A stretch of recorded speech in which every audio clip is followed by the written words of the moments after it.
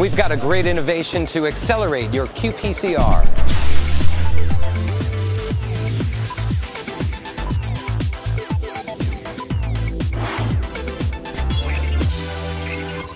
We're in the Thermo Scientific Technology exhibit talking about qPCR with Dr. Eva Tas.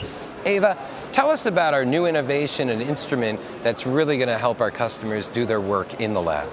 So when you're talking about uh, quantitative PCR, this uh, new technology, it's been on the market now for a few uh, years. The Piko real-time PCR system is a very tiny, small instrument, high performance in a very tiny shell. It's really small and transportable from lab to lab, so it's now really within the range of any scientist. The lab space is not an issue anymore. You can even take it with you to some field experiments if you wish. The instrument also works standalone, so you can transfer the protocol from the computer. You don't really need a computer for operating it.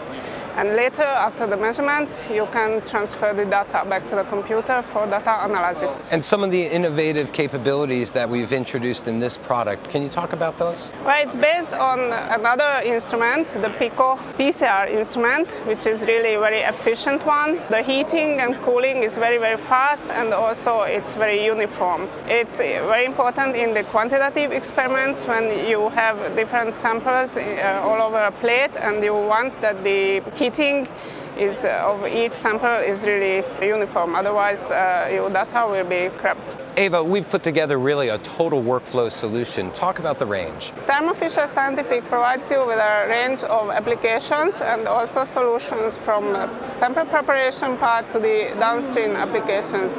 So we provide you uh, instruments, uh, reagents, optimized kits, and uh, plastics for all the steps of the quantitative PCR experiments.